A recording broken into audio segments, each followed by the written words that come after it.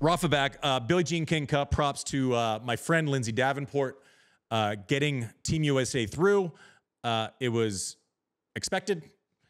Um, Jess Pegula looked maybe nervy. First match got through. Uh, Emma Navarro uh, apparently had like an arm injury and didn't even mention it to Lindsay until she was like a set in. Like she's tough, man. Like she is she is gritty. She is tough. She is the kind of person that you want to be on a team with. Um, I got in trouble for saying Lindsay was mad at me. I got in trouble for saying she was mad at me. I got in trouble for saying I said this crazy thing. I said two crazy things this week, Mike, that I got in trouble for. You ready for them? Ready. That Emma Navarro is a better tennis player than she is a rapper. How dare you? I know. And I, I'm sorry. I apologize live on air in the opening segment of TC Live because the last thing I want to do is piss off Mama Bear Lindsay, who I love and who is mad at me, but we're not. She's not mad at me anymore. I think it had maybe had something to do with them winning. Cures all. Sorry. Cures all. Yeah. Uh, but I thought Lindsay did a phenomenal job because she had two players on day one who may have been a little nervous. Maybe the matches were a little bit tighter uh, than they would have expected. It's a math contest. It's not an art show.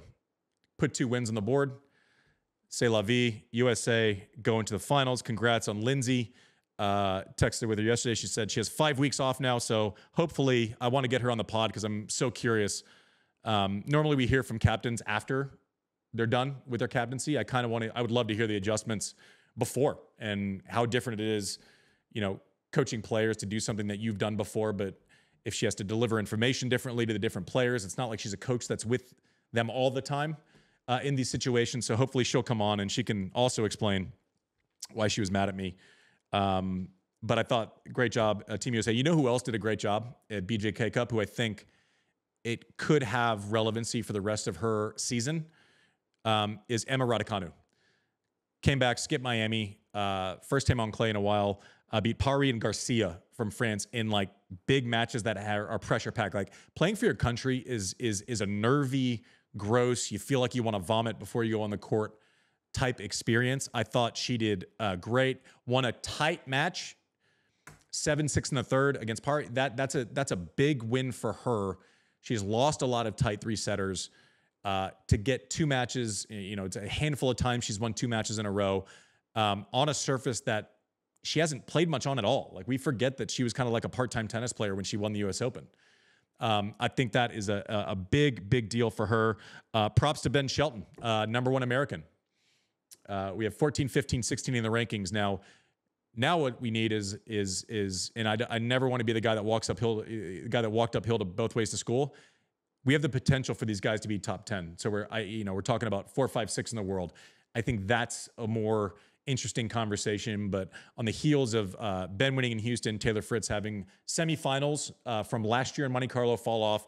Uh, ben is the new U.S. number one, well deserved. Uh, Youngest since uh, one Andy Roddick. oh yeah, those those stats are are so antiquated and boring. If I'm being honest. Um, weird thing is, is like I I put it in a different way.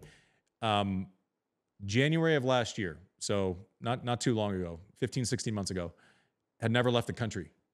Ben, Yeah. Wow. When he went to Australia last year, he had never left the country before. that's awesome. This is someone who uh, developed late, went to college, is still very young, but it's not as if he was playing challengers when he was 17. Had never left the country 15 months ago. Your new American male, uh, number one.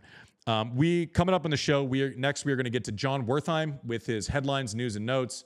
Uh, we're gonna. I'm going to get informed on what's actually going on, and then you have to stick with us it's a crime if you don't listen to uh, Bob and Mike uh, telling each other about the crimes that they committed against each other. yeah, your face will hurt. All of our faces hurt It's afterwards. it's it's brilliant. We'll be right back.